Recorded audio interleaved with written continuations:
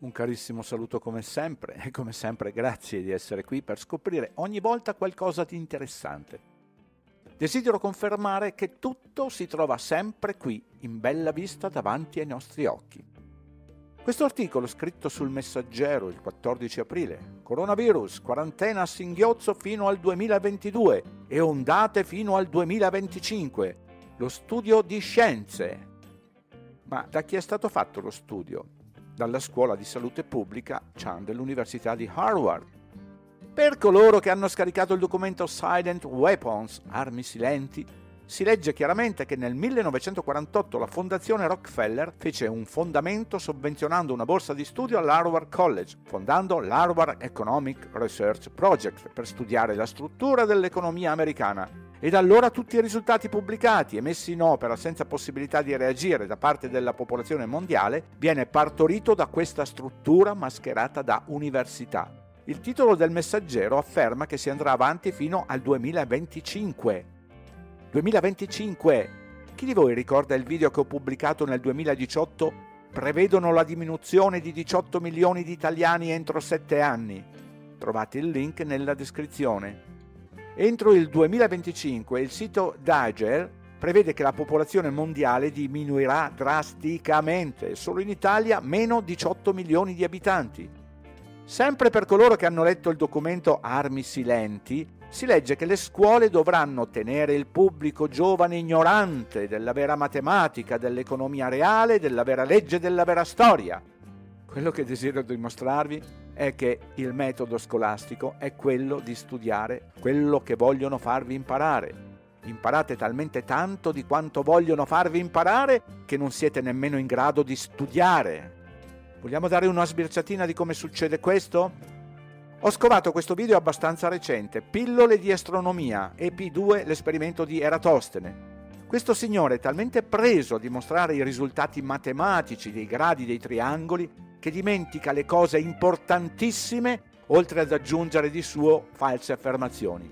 Primo è l'ipotesi che il Sole sia a una distanza tale che da qualunque posizione io mi ritrovi sulla superficie della Terra, i raggi che colpiscono la Terra sono sempre e comunque paralleli tra di loro. A che distanza è il Sole? Dobbiamo arrivare al 1659 perché qualcuno riesca finalmente a trovare un valore della distanza Terra-Sole ragionevolmente vicino alla misura corretta col matematico e astronomo olandese Christian Huygens.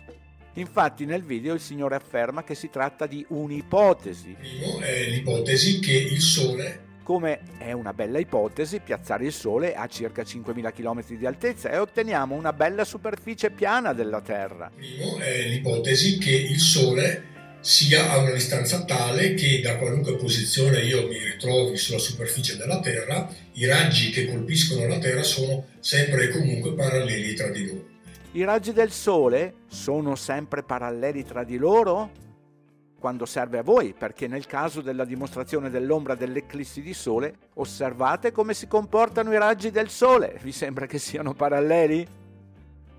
Se in quel preciso istante io mi trovo ad Alessandria, in quel preciso istante. Come faceva Eratostene a sapere qual era il preciso istante? Aveva un bulova acutron per misurare il tempo? A questo punto mi manca la misurazione della distanza tra Alessandria e Siene e eh, in questo caso Eratostene deve imbarcarsi in una spedizione scientifica e attraverso misurazioni molto accurate misura accurata? E attraverso misurazioni molto accurate riesce a trovare eh, questa distanza che corrisponde a 5.000 stadi. Stadi? Ha provato, caro signore, a trovare quanto è uno stadio? Per chi ha voglia di divertirsi, andate a guardarvi il video, mettetevi d'accordo su Eratostene per Dio, terra piatta, di cui trovate il link nella descrizione e scoprite perché continuano ad insegnare la distanza in stadi ancora oggi nel 2020. Ma non si potrebbe mettere i chilometri? Aggiungo un piccolo assaggio e vi ricordo che attraverso l'indice alfabetico, di cui trovate sempre il link in tutte le descrizioni dei video, potete approfondire gli argomenti consultando le voci Eratostene in questo caso o quelle che più vi aggradano. Buona visione! Iniziamo subito da questa prima diapositiva. Distanza Alessandria-Siene 5.000 stadi che corrispondono a 890 km. 890, ricordate bene Seconda diapositiva. Distanza Alessandria-Siene, 5.000 stadi che corrispondono a 925 km. Terza diapositiva. Distanza Alessandria-Siene, 5.000 stadi, un valore che può variare da 787 km a 885 km, a seconda di quanto valeva uno stadio. Eh sì, il valore di uno stadio dipende dal valore dei giocatori, ma vaffa! Quarta diapositiva. Distanza Alessandria-Siene, 800 km.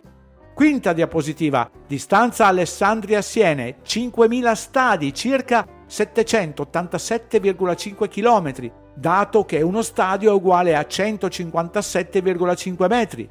Sesta diapositiva. Alessandria-Siene distano 4.500 stadi, non più 5.000? E che ogni stadio egizio è di circa 160 metri. Facciamo il calcolo. 4.500 per 160 metri fa 720 km. Mm. Settima diapositiva. Distanza Alessandria-Siene. Distano 5.000 stadi.